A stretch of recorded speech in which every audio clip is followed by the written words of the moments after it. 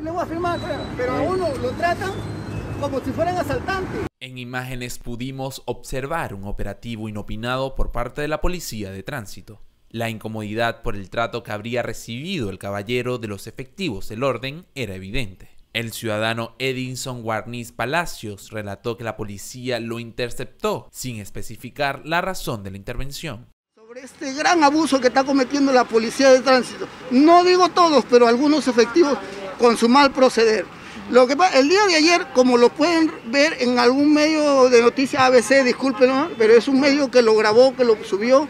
El día de ayer fui intervenido por un efectivo de tránsito, el cual aquí están sus datos, Escate Caro, lo cual hizo un mal procedimiento al momento de intervenirme.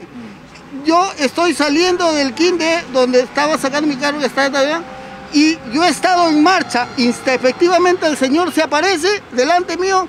Si, si yo no soy un buen conductor, sin mentirle, yo agarro y lo puedo atropellar, puedo impactar con él. El señor se aparece de la nada y tuve que frenarme. Como ustedes pueden corroborar o comprobar en el video que uso cada mes, mi carro está a medio salir. El señor a mí me interviene en marcha. Otro policía, señor, estacionese que le vamos a intervenir.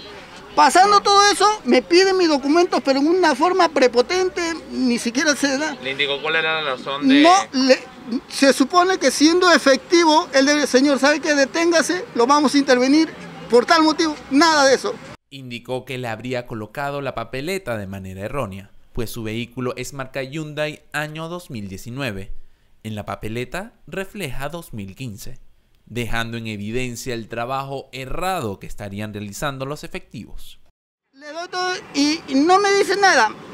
Me, me pone la infracción y quiere que se la firme. Como ustedes verán acá, le entrego mi tarjeta de propiedad, lo cual el señor me pone 2015, lo cual no es porque mi carro es 2019. ¿Ya? Ahora, verán abajo, una multa G47, mal estacionado, zona retirada, remoción del vehículo, tiene que retirarse.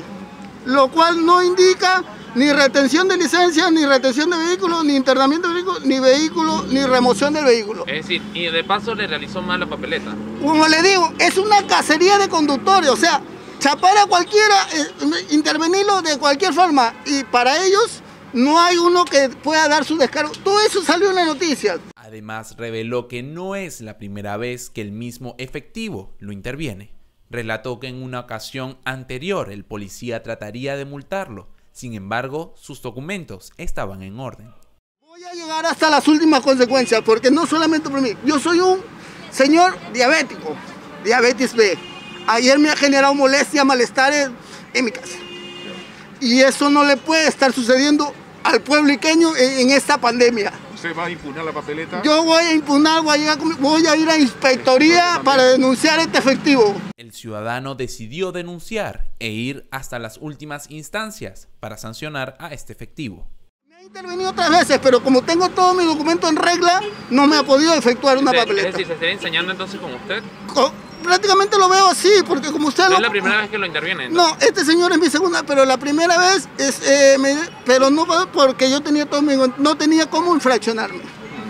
pero ustedes lo ven así, es algo rápido, o sea, no tiene sentido esta papeleta. Una última exhortación que le digan las autoridades. Por favor, que tomen, eh, ahora también hay, creo que hay un esto de, de operaciones que tienen que tener los efectivos, nada de eso me mostraron. Por favor, que tengan más control con sus efectivos que supervisen.